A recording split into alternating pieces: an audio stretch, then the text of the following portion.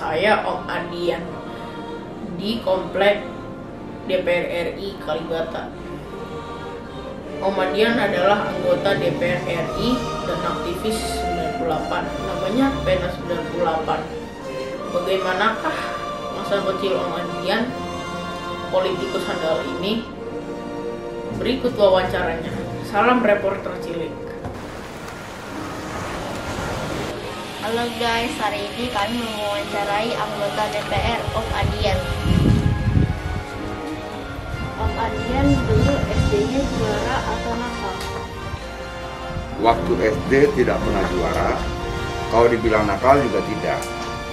Tapi eh, waktu Om kelas 6 SD, papanya Om meninggal dunia dan Om jadi anak yatim.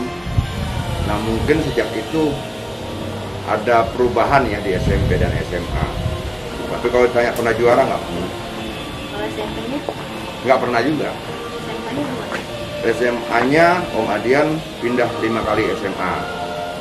Empat kalinya diberhentikan oleh SMA karena nakal. Menurut mereka, menurut Om Adian sih mungkin biasa-biasa aja ya, tapi dianggap bandel gitu. Om Adian dulu waktu kecil pengen jadi apa? Apakah bercita-cita jadi anggota DPR? Nggak pernah bercita-cita jadi anggota DPR. Waktu SD cita-citanya jadi supir truk. Waktu SMP cita-citanya jadi pilot. Waktu SMA cita-citanya jadi pengacara, Om Adian dulu apa? main bola. Kemudian dulu waktu kecil punya pengalaman terkesan ya? Kecilnya umur berapa? Yang paling berkesan ya waktu papa meninggal ya, papi papinya om meninggal. Eh, kemudian om kehilangan figur bapak.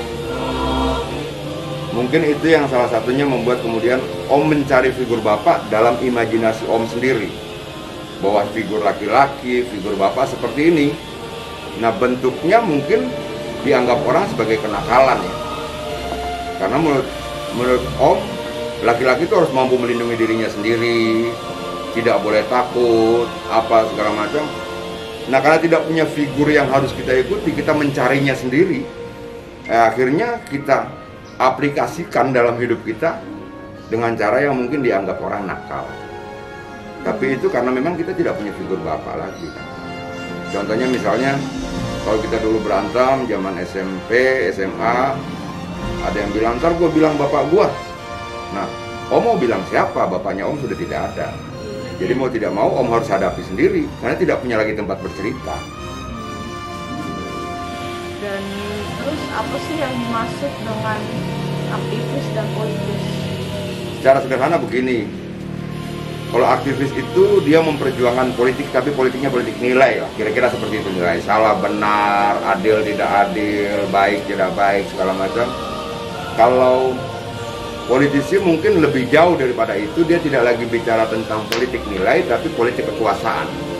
Bahwa nilai-nilai itu bisa diwujudkan kalau berkuasa. Untuk itu politisi biasanya orientasinya kekuasaan. Untuk apa? Untuk menegakkan nilai-nilai yang dia perjuangkan. Kalau aktivis dia hanya berhenti pada politik nilai salah benar salah kita lawan benar kita bela gitu seperti itu Eh, apakah Om Adian ada pesan untuk anak-anak bangsa? pesannya sederhana jaga Indonesia jaga keberagaman jaga perdamaian jaga merah putih jaga Pancasila Terima kasih untuk waktunya. ya dulu dong Terima kasih guys. Bye. hmm. ya